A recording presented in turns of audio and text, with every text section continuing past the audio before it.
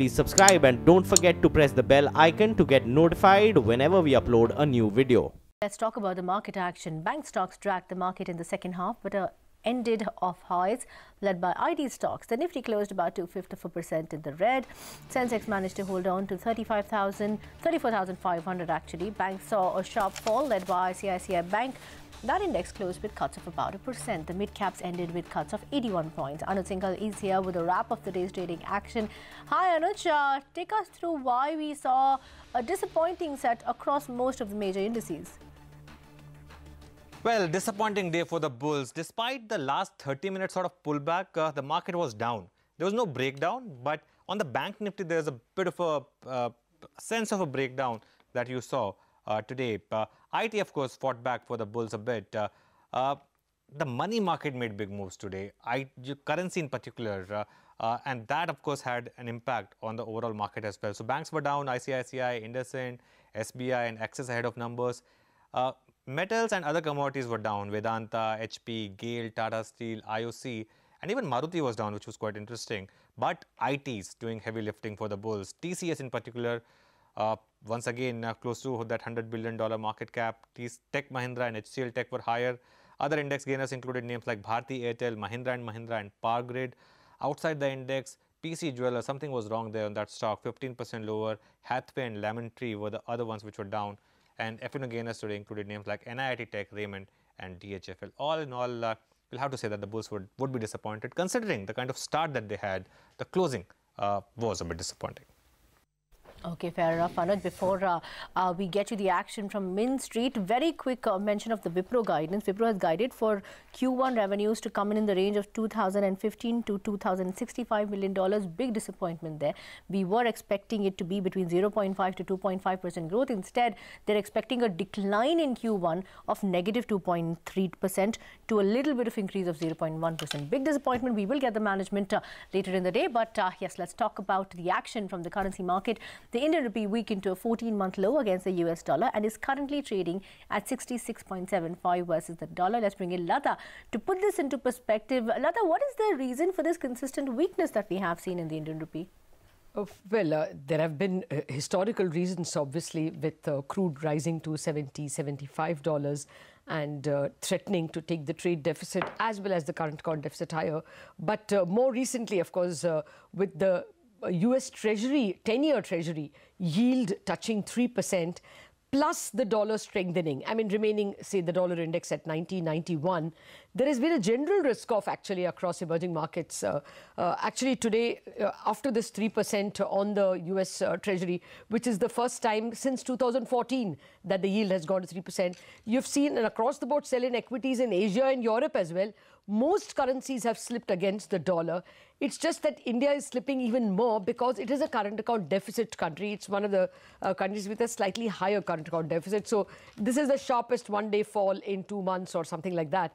And it is a 14-month low for the Indian currency. Uh, the expectation, or at least the chatter among uh, the uh, trading rooms, is that at 66.82 thereabouts, uh, the Reserve Bank uh, looks like has sold a bit of dollars, but uh, it's, it's, it looks like it's a very tentative sell. Uh, rupee is uh, likely to remain weak, but uh, there are a lot of people who believe that it has weakened enough over the past couple of weeks, and now perhaps uh, crude at 74 uh, is pretty much factored in uh, in the uh, dollar rupee. Further weakness from here at current fundamentals is not expected. Okay, fair enough, Lata. Thanks for joining in and putting that into perspective. But let's uh, get the big story from the real estate space. The Maharashtra government cleared Mumbai's long pending development plan yesterday. The blueprint will pave the way for the maximum city to have more land available for building homes and commercial spaces. Remember, an earlier version of the remember an earlier version of the development plan was released in 2015, a few months after the BJP CNR government taking charge in Maharashtra. The plan, however, faced criticism from several NGOs and activists over some key aspects. Let's bring in Manisha Natarajan to put this into perspective. Manisha, the revised plan finally getting the government's approval. Take us through some of the key highlights that stand out. Well, indeed, it is a big day for Mumbai with the Mumbai Development Plan 2034 being finalized by the government. Two things which come out strongly. A, the government is serious about creating an affordable housing stock, which it has failed to do so far with either slum redevelopment or bringing down land prices in the city. Now, in the DP, it's proposed that 2100 hectares of no development zone will be released for affordable housing, plus 330 hectares of salt pans will also be made available to create affordable housing. While this is lower than what was being anticipated, anticipated a release of 3,700 hectares is still quite a substantial amount or number for the island city. What's even more important is that FSI norms have now been increased. FSI for commercial has gone up to 5 from the current 2.66. FSI for residential has increased from 1.33 to 3. The municipal commissioner at the press conference announced that the new Mumbai DP intends to ensure that the city creates 8 million new jobs by 2034. In fact, two decades ago, the city had taken a decision to move commerce out to the suburbs and perhaps lost out to cities like Bengaluru for best in IT and office spaces. So this is a move which will be welcomed a lot by top developers like Raheja, Godrej, Hiranandani, etc. A critical point to note is that eco-sensitive zones, the mangrove areas specifically, have been earmarked as natural resources and will not be open to construction.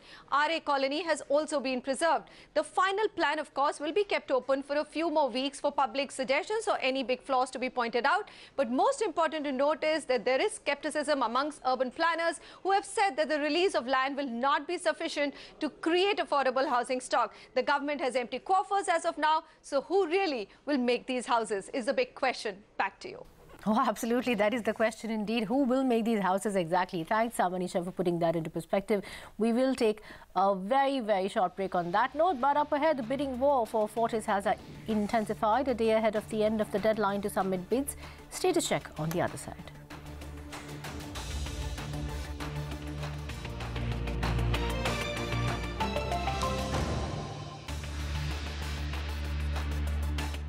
Welcome back. The, divest, the bidding war for Fortis has intensified a day ahead of the end of the deadline to submit bids for the healthcare company. There are two more suitors that seem to be in the fray. Radiant, backed by KKR, and Malaysia's IHH have also entered the race for Fortis. Nisha Poddar is here with a comprehensive check of who the bidders are at this point in time and what they have to bring on the table. Nisha. Fortis Healthcare clearly in a bind with this particular uh, suitor and the bid, by, bidding war that's going on. Now, there are four uh, suitors already in the race. It's the Manipal TPG which revised its offer as well as IHH and Radiant came back with binding offers. Now, 26th is when the board is supposed to meet. The advisory panel is meeting today to decide on it and advise the board. But it would be difficult to come to a conclusion so soon is my understanding. Now, now, Manipal TPG, that revised the offer coming in and also included an open offer which may just go down very well with the shareholders who have to take the final call. So 121 rupees per share will be the minimum that they're going to pay for, remember, only the hospital business of Fortis Healthcare. What they have also done is address the cash uh, situation and for that up to 1000 odd crore rupees with 750 crore rupees of letter of intent and 250 crore rupees from SRL's 5% stake buy is what they have intended to do and 160 rupees per share is the implied valuation. Let's take it to another bid. IHH, Malaysian company, global giant, but has been extremely conservative. Only 650 crore rupees in terms of upfront payment and the rest of 3,350 crore rupees only after a strict due diligence, exclusivity and two board seats. So that's a tough one. Apart from that, Radiant, let's go to that one. That has revised its offer in terms of valuations. It seeks to be higher than all the other bidders. But remember, there are many ifs and buts over there. 170 to 175 rupees per share contingent on SRL's uh, valuation, which is not even part of the deals. All they are looking at is buying out the entire hospital business and they are offering 1200 crore rupees upfront, which is uh, by buying Mulund project, which is under RHT. It could be a little complicated affair. Apart from that, Munjal and Burman, that's going to be an important one, 1500 crore rupees and upfront of about 1000 crore rupees. So we still have to see like-to-like -like comparison in terms of stock perform stock valuation is something that the shareholders will watch out for. But equally important will be the due diligence timeline and that particular table should also come up for you that who are really looking at a due diligence. So it's not Manipal TPG, not Munjal Burman, but IHH as well as Radiant these are the two contenders who are really looking at a due diligence. So apart from share price, due diligence as well as the construct of the deal, which is going to be extremely important. But it will be a difficult task because we'll have to see because Manipal TPG has um, a right to match in five days. So that could be given to them. And there's every likelihood that the final decision may not be tomorrow itself. Okay, fair enough, Nisha. Thanks for joining in with that comprehensive outlook on who is currently in the race. But let's uh, get to the latest in the Essar Steel case now. Sources say banks open bids submitted by ArcelorMittal and Numetal in the first round in a marathon meeting of the Committee of Creditors yesterday, but are yet to come to a conclusion about the eligibility of both the players under Section 29A. Ritu Singh is here with details. Ritu, what does this mean now? Which are the two players that have an edge so far?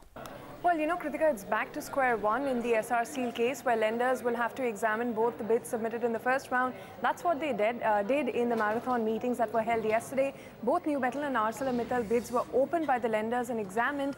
Uh, obviously, more documentation is sought in terms of establishing eligibility of both the players under Section 29A, and that process is still underway. But that said, we understand that Arcelor's bid was far higher than what Numetal had put on the table. In fact, we understand that Arcelor's uh, package includes around 38,000 crore rupees of repayment of which about 28,500 is what they'll be paying the financial creditors.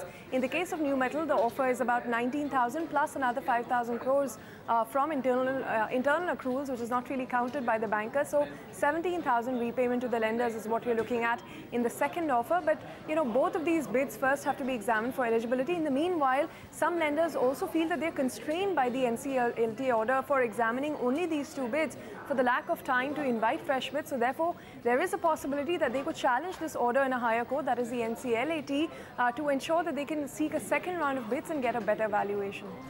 Okay, fair enough. So back to square one for now, at least. Uh, will be following this very closely and we will have updates uh, as and when anything develops. But uh, from one exclusive to another, and this one's from the GST corner, we learned from sources that the GST Council is likely to hold its next meeting on the 4th of May.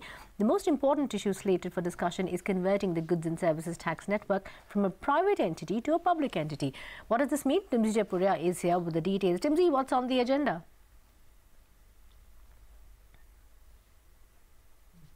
Well, as you rightly mentioned, the council is next going to meet on May 4 and this time it is going to be meeting through a video conferencing.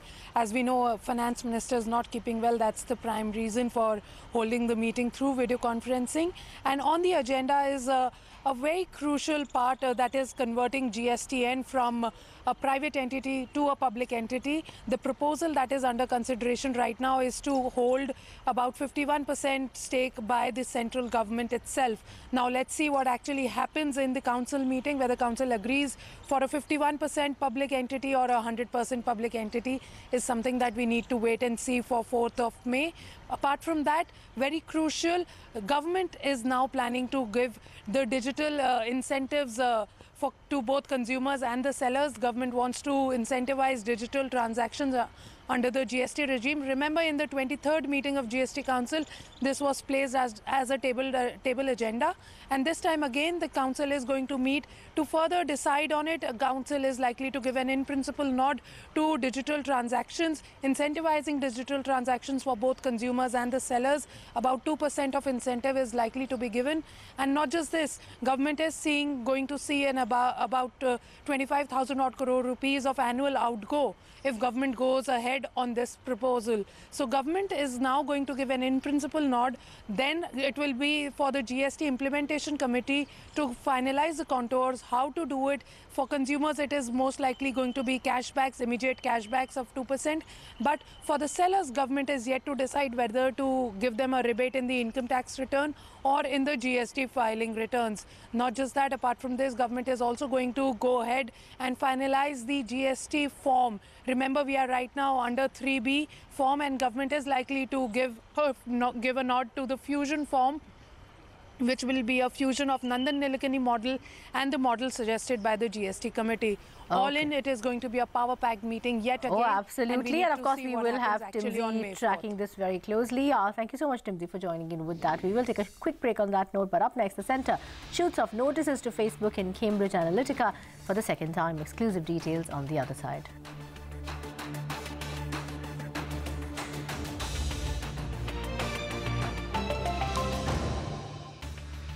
NBC TV 18 and this is After the Bell. Now, the centre has shot off notices to Facebook and Cambridge Analytica for the second time, seeking more details on the data breach scandal. Now, remember, Cambridge Analytica had been accused of accessing over 87 million Facebook users' data in an unauthorized way. The entire episode has also raised questions on Facebook's privacy laws as well. Rituparna Bhuyan is here with the details. Ritu, what exactly are you picking up in terms of the missive that the government has sent so far?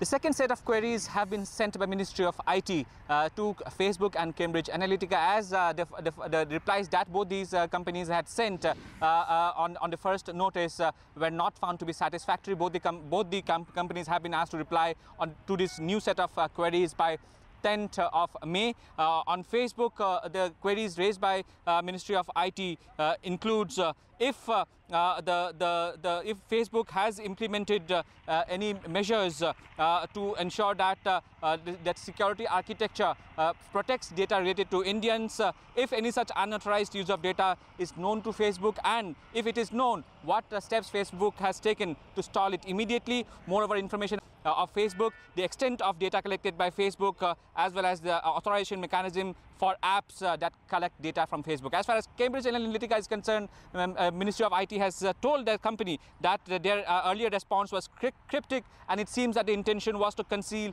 more than reveal and admissions made by the Facebook CEO have their own sanctity and, and cannot be wished away by Cambridge Analytica. Cambridge Analytica have been asked uh, uh, about what kind of data has been collected in India concerning Indians, whether Cambridge Analytica has harvested any data related to third-party apps, that is directly or indirectly you know, that indirectly or indirectly possesses data from Facebook. And while harvesting any such data, uh, you know, if uh, uh, uh, consent was taken from people in India. Uh, we'll have to now wait and see if uh, Cambridge Analytica and Facebook get back, gets back to Ministry of IT regarding this new set of queries which have been raised. With that, it's back to you.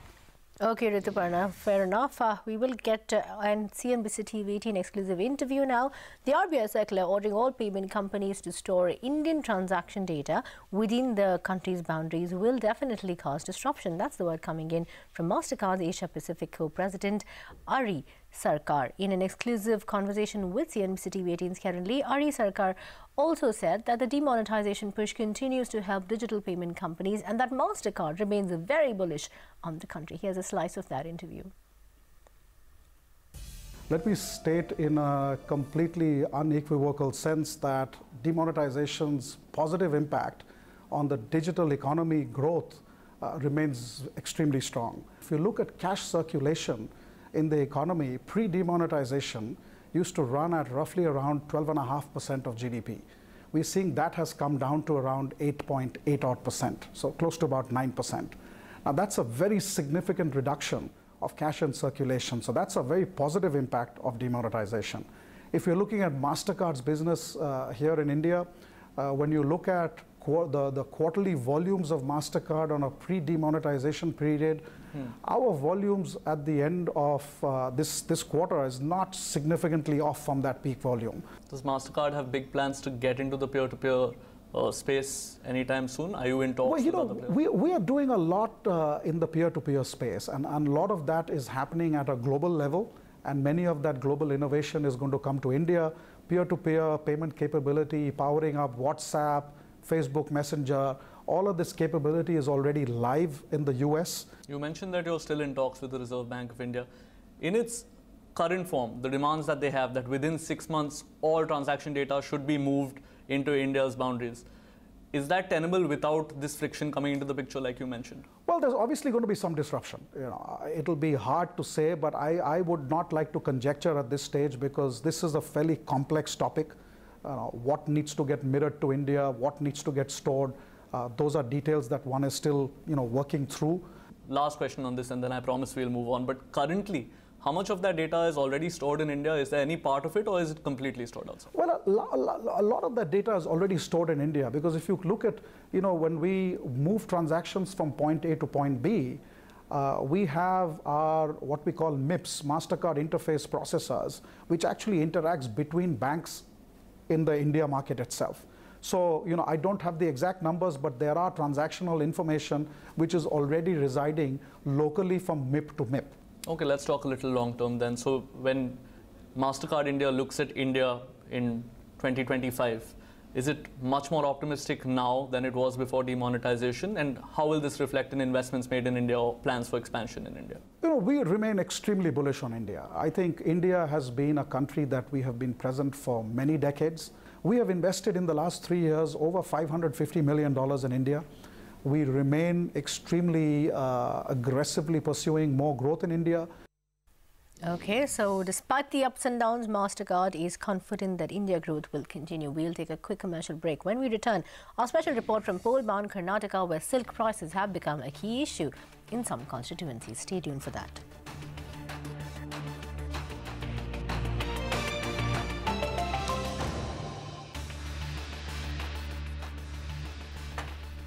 Welcome back. Now, accounting for 49% of India's raw silk production, Ramnagra in Karnataka is the country's silk production hub. But the silk industry here is not happy with the reduction of import duty on Chinese silk. Prices in the market have come crashing down as part of a special series on the Karnataka elections. CNBC TV 18's Rukmini Rao and Archana Shukla report on the economic issues which will count across Karnataka. Ramnagra, on the outskirts of Bengaluru, is home to 30,000 families whose livelihoods depend on silk farming and allied activities. But the economy here is hurting. A reduction in the import duty on Chinese silk has meant that farmers here have lost their pricing power. I'm at the sericulture hub of Karnataka here in Ramnagara, one of the biggest auction houses as you can see where business of close to 2 crores uh, takes place on a daily basis and uh, farmers come here to auction off their cocoons. If our farmers prosper, the nation will also prosper. When our farmers are growing enough, they should stop importing silk from China. We have the ability to grow how much ever needed. Farmers here must be supported to grow more. Ramnagra is a stronghold of the JDS and is also one of the constituencies from where its chief ministerial candidate H.D. Kumaraswamy is fighting the election. He is also contesting from the neighbouring Channapatna, which also happens to be a sericulture hub. Kumaraswamy is promising schemes and packages worth over 20,000 crore rupees for the welfare of silk farmers. The party in power, the Congress, doesn't want to be left behind. The recently announced state budget promised a 6% rise in outlay for sericulture and related activities. It has also proposed setting up a state silk development center and a silk museum to give silk-driven tourism a boost, Kisan nursery scheme to encourage cultivation of mulberry trees and providing subsidies amounting to nearly 90% of the cost of cultivating these trees. Farmers say that while some of these schemes have helped, it is not nearly enough. The government is giving sericulture equipment under subsidy. However, the 50 rupees bonus that they used to provide has been stopped and we want the government to bring it back. ಮುಂದೆ next ಬರೋ ಫ್ಯೂಚರ್ಗಾರೆಯ ರೈತರಿಗೆ ಮಾಡಿಕೊಟ್ರೆ ಒಂದು ಅನುಕೂಲ ಆಗುತ್ತೆ fifty percent ಮಾಡಿದೆ ಇನ್ನು fifty percent ಮಾಡಬೇಕು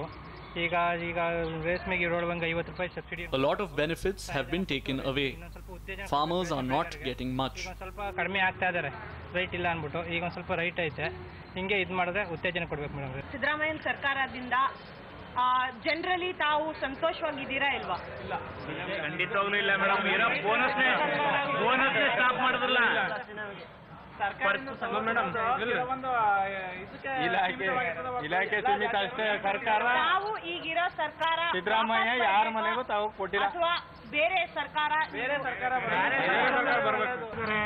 ಮತ್ತೆ ಭರ್ತಿ ಸವಲತ್ತು Schemes are not reaching the end farmers. Well, the farmers do agree that several of the government schemes have benefited them, but their problems are far from being solved to an extent that they had expected. The fact that this constituency gave H.D. Kumaraswamy the thumbs up in the 2013 elections and as chief ministerial candidate from JDS this time, the expectations that he will deliver if he wins are a lot higher. With Rukmini Rao in Ramnagra, in Mumbai, Archana Shukla. And we'll, of course, continue to get you our special series from Karnataka election. But for now, we'll have to end this edition of After the Bell. Stay tuned to CNBC TV 18. Ritu will be joining in on the other side with Reporter's Diary and the top stories of the day. Stay tuned.